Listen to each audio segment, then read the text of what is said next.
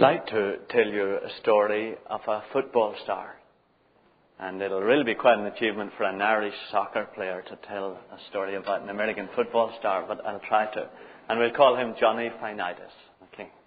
And uh, he really started off having an interest in football when his dad and he used to pass to each other in the backyard. And he was just an eight year old, but he really began to get real excitement and satisfaction just out of throwing that old ball and seeing it arc through the air and land exactly where he wanted it. And he enjoyed it so much that he used to spend more and more time in the backyard with his dad in that way. Of course, eh, when you do anything a lot, you become good at it. And he did just become very good at it. Very good at exact control of the ball. And so much so that he was picked for one of the school teams. And then he discovered all that excitement, you know, of just cutting down a field and weaving and back, stepping back and evading people and breaking out into the open and all the thrill of just tearing down there and getting the touchdown. And he really thought there was just nothing like this in the whole world. He just got so much satisfaction from doing these ordinary things in, on a football field, he thought there's nothing else worth living for. And then, of course, there came the time when he was picked for the school team, and they made him the quarterback, and he began to discover the satisfaction of the old mind in working out the plays and calling the right play. And so he discovered that not only his body was getting full satisfaction, but he began to realize that his mind was deriving great satisfaction from this. And he never realized that anything could so take up all of his personality as this game of football. And he really felt that his whole being was coordinated, and that at last he found himself doing something that he utterly enjoyed doing.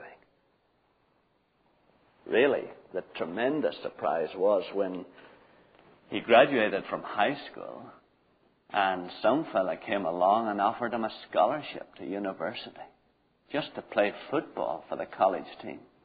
He couldn't believe it. He thought, you mean they actually pay you to enjoy yourself?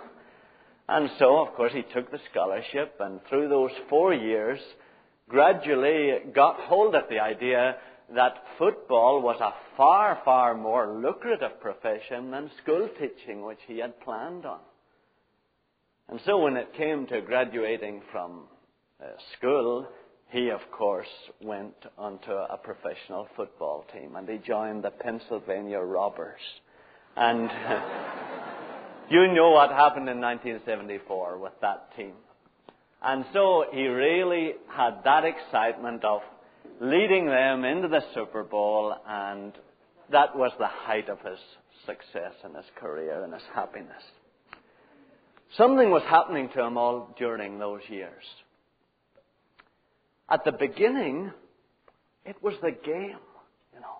It was the game that was everything. It was the joy of seeing that old ball curve through the air and arc right into the hands that he had aimed it for. It was the joy of just working out the right play to baffle the other side. That was what he lived for. It was breaking out into the open and getting a touchdown. That's where he got his satisfaction and his excitement from. And that's the way it was for a number of years. For a number of years, the incidental side benefits, that was all they were. They were incidental side benefits. So the increasing salaries, the increasing bonuses, he just took them in a stride. They were something that automatically came with what he enjoyed doing. But gradually, as the years passed, he began to get more and more preoccupied with those old side benefits. And he began to be concerned about the bigger cars and the better vacation homes. And he began to be more and more interested in the fame that he had and the limelight that he had he gradually became fascinated by his being a celebrity and being interviewed on television. He began to enjoy the adulation and the admiration and the hero worship until more and more these things became important to him. And gradually he began to find that the game itself was simply a means to an end. And of course, the more he enjoyed the celebrity and the more he enjoyed the fame, the more he stayed up at night, the more he took the pep pills to enable himself to stay up at night, the more he ended up the next morning taking tranquilizers, the more he took alcohol, the more he had to take other things to try to balance the whole thing out. And bit by bit, his body became more and more ravaged by what used to be actually the incidental byproducts of what he enjoyed. And indeed, actually, the more of this he did, the more he had to do to compensate for the satisfaction that he was now missing in the game. Because the game was now becoming just a means to an end. In fact, it was worse than that. It was often just a nuisance to him. It was an interruption, an unpleasant interruption in the series of enjoyable uh, occupations that he could have during his leisure time. And so it came to the bit eventually where he was so fed up with that game and he was so frustrated with his own attempt to satisfy himself that he really did wish that he was dead and that he could start all over again somehow and begin again the way he used to be as a little eight year old with his dad in the backyard enjoying the game itself. That's our story. That's really our story. The Creator made this world with valleys and hills and mountains and rivers, with minerals and crops, with fruit trees, with animals, with meat available. And instead of putting his own son in it, so that he could live here for centuries and could develop it in the way that the Creator intended, He made millions of people like you and me.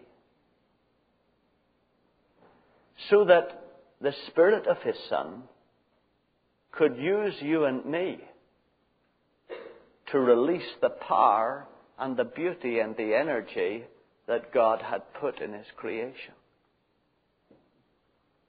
And His plan, of course, was that just as the football player got full satisfaction from the game, we'd get complete satisfaction from doing what we were made to do ourselves. And so, really, each one of you, each one of us, is a picture frame in which the Creator is trying to paint a portrait of His Son. And each one of us is an integral part of the Creator's plan for the completion of His creation. So one of you here, at least, is to teach children how to use language in a way that will express beauty and love and peace to others. One of you here is planned by God to paint portraits of other human beings that will bring out the beautiful traits in their character and encourage them to develop them. One of you here is planned by God to sell exactly the right kind of insurance to someone to counteract the effects of accidents that come through other people's carelessness and lack of love. One of you here is planned by God to allow His Son Jesus to so order the business of our nation that each person would make the profit that is exactly appropriate for the value that they add to any product.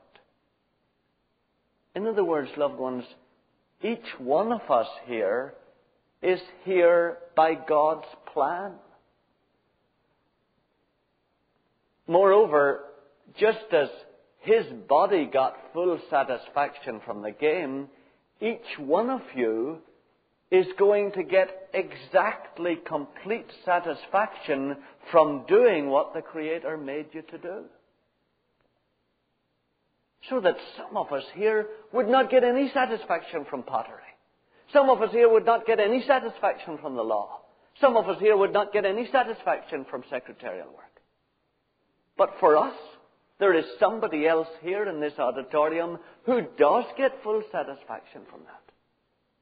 And the Creator's plan was that each of us would get our satisfaction that way. And I think I've mentioned before that from the balanced economy that would result from that, we would have all the food and the shelter and clothing that we would need. But really, we've operated the same way as the football player.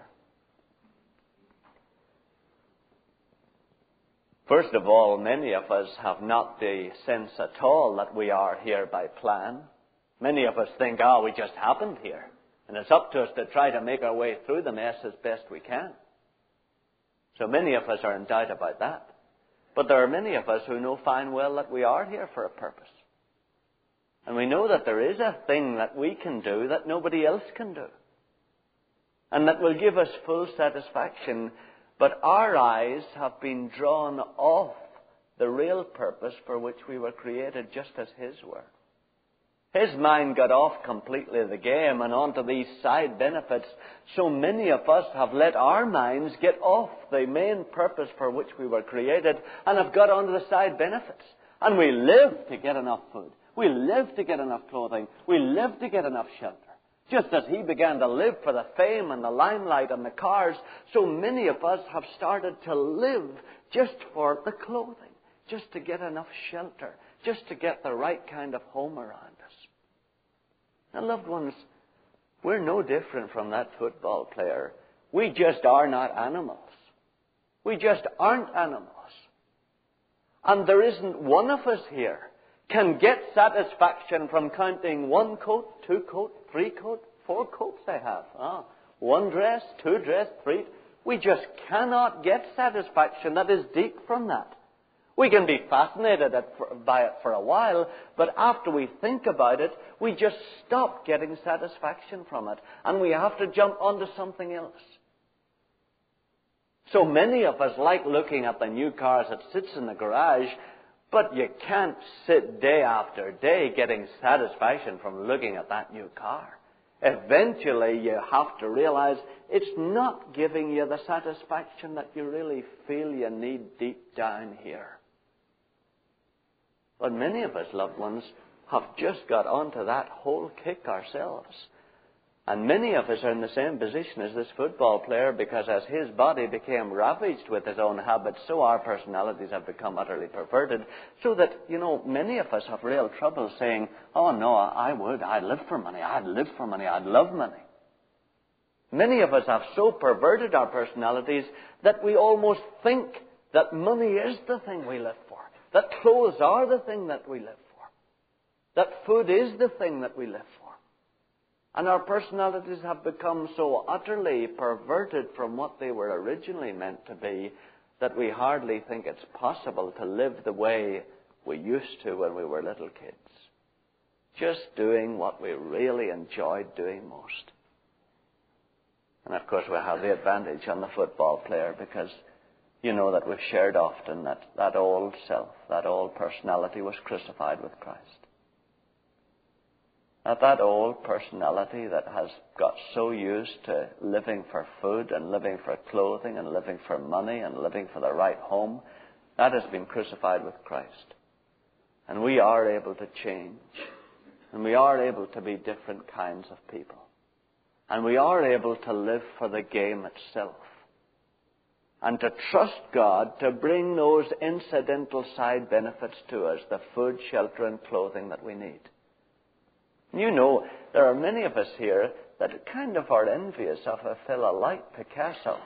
However, uh, whatever mess he may have been in spiritually, we kind of like to look at somebody whom the world regards as a genius and see somebody who lives for what he enjoys doing. And many times we think, oh yeah, we'd love to do that too, but we have to get the old food in, have to get the old clothes, you know, have to get the old shekels coming in somehow or other. And oh well, maybe when we're rich we'll begin to do what the Creator made us to do. But loved ones, do you see? It's not the Picassos that were meant to do that. It's each one of you. The Creator loves you and has planned for you to be here in His world to complete His creation. And God wants you to stop living for the sake of the food, the shelter, and the clothing. That is death. Living from the outside in, that is death. And you know, I've shared the diagram, and I'll just put it briefly there so that those of you who maybe haven't seen before, but that is it, you know. It's the difference between living in all the time and living out. Has the Creator some plan for you that He can show you from your inside? Has He something to give the world through you that He can give to you and you can give out to it? Or have you to spend the rest of your life trying to draw in enough food, shelter, and clothing to keep you alive? In other words, is it possible to live an outgoing life? And you know that we've been sharing that it is. It is possible to stop setting your mind on that kind of existence and begin setting your mind on that kind of existence. I know there are many mums and dads here, you know, and some who have lived through the old depression. And I realize that because of that old depression, many of us were tempted to just concentrate on the food, shelter, and clothing and say, oh, listen, brother, if you don't concentrate on that, you won't live. But loved ones, God's promise is that that will come to you if you do what He put you here to do. Otherwise, you end up in as illogical a situation as that football player. Forgetting the thing that would give you full satisfaction and that you were made and created to do, and living for those incidental side benefits, which will never give you satisfaction. And really, God's plan is for you to live this way. How do you do it? Well, the, the verses there that we're studying this morning, Romans 8 and 6. And really, God puts it very plainly there in Romans 8 and 6. The only way to begin living this way is at least to get your mind back on the game. Get your mind off the cars, off the celebrity spots, get them back on the game. In other words, with us, get our minds off the food, shelter, and clothing. Romans 8 and 6. To set the mind on the flesh is death. But to set the mind on the Spirit is life and peace. Just there was a real sense in the footballer, you know, of harmony, of life and peace as his whole being seemed to be used harmoniously for the purpose for which he was created. And it's so with us. You know a little of it in your own life because you remember times when you were teenagers when you really did something that you just enjoyed doing. You remember feeling such satisfaction in it, and maybe it was painting a picture, or maybe it was doing something in the garden, but you just did it with all your heart, and it seemed so good, it felt so good. Now, loved ones, God has a purpose for you, something like that. And what He wants you to do is to begin setting your mind on that and take your mind off the flesh business. Take your mind off the business of trying to get enough food, shelter, and clothing together to keep yourself. How does it work out? Well, you're a plumber. And you go into the house. And then you look up to Jesus. You say, Lord Jesus, can I repair this valve? The last one I couldn't repair at reasonable economic cost. I just had to replace it. But can I repair this one with a little harder work that will also save the customer some money and will save us wasting more metal? If I can, Lord, will you now give me the energy from yourself? Give me the power of your Spirit in my hands and in my mind to do that. That's what it means.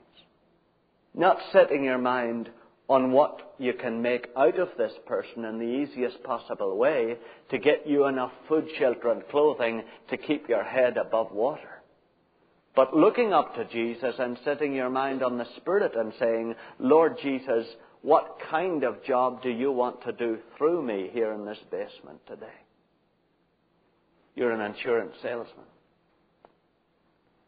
Instead of setting your mind on the commission that you could make out of this person, looking up to Jesus and saying, Lord Jesus, I have with you at the right hand of the Father everything I need. What I haven't, you're going to provide for me. Lord, how do you want to service this man in the best possible way? How can you love this dear person through me? Lord Jesus, will you guide me to put together a plan that will be really a benefit to him? No more than he'll need and no less than he'll need. You're a school teacher. Take your mind off getting through the day the easiest way. Lord Jesus, I could put these kids to some busy work that would give me time to think and would keep them out of my hair. But Lord Jesus, I know that you are anxious to interact with these kids through me. And so, Savior, I trust you now to give me the power and energy of your Spirit to interact with them so that they can touch you through my mind. Loved ones, each one of us can either set our minds on the flesh or we can set our minds on the Spirit you come home at night. Lord Jesus, I have from you all the love and attention that I need. I have all the energy that I need, even though I've had a hard day. Lord Jesus, what do you want me to give to my dear ones in my home or in my dormitory now?